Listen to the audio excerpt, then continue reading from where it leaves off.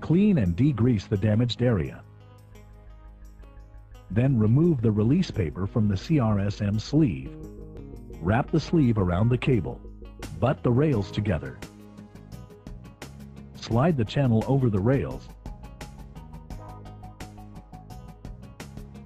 and center the sleeve over the damaged area.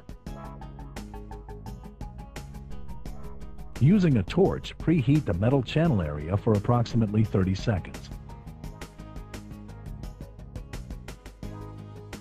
Continue shrinking at the center, working the torch with a smooth brushing motion around the sleeve.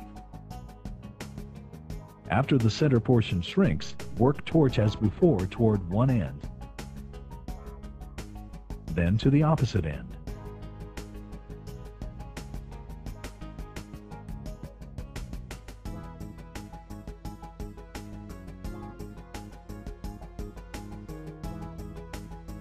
Post-heat the entire length, concentrating on the metal channel area until the CRSM conforms tightly to the cable, without wrinkles, and adhesive flows from each end. Using a sharp knife, carefully cut off the rails and channel.